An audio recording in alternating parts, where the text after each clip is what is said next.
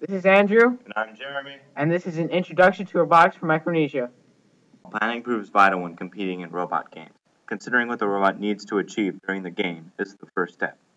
One will want to list important qualities that the robot will need to have in order to categorize what is and is not necessary.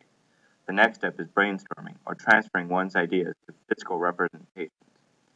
After one feels comfortable relaying information using drawings, one should challenge themselves by using computer assisted design or CAD to present their ideas professionally through the use of digital representations. One must consider what parts will be used to compose the robot.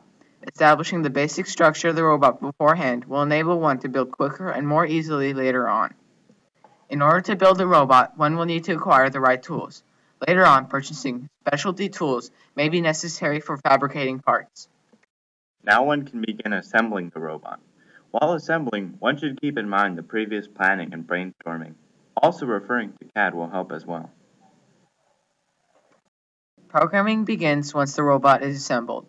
One must first consider the task to be accomplished before programming. Once a rough program has been created, the team can use trial and error to perfect it. The last step is testing the robot. A helpful way to do this is creating the exact conditions the robot will encounter during the game.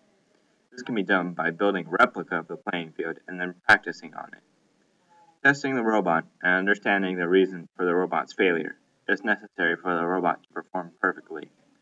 After the team can modify the robot to overcome the next failures.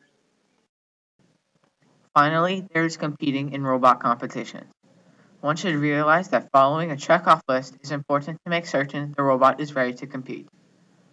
At a competition, one member of the team should be recording the pros and cons at that competition. This helps the team learn what to do at the next competition.